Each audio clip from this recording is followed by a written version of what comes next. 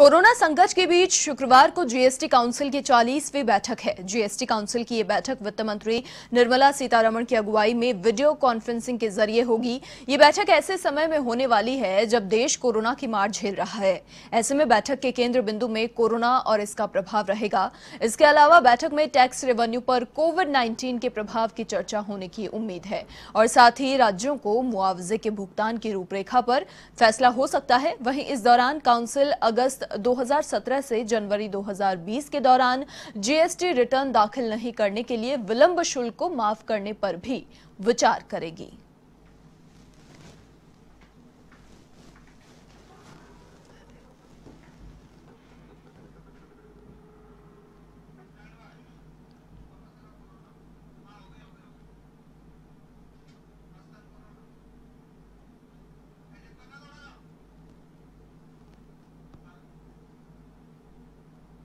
Corona effect समेत कई मुद्दों पर चर्चा संभव है।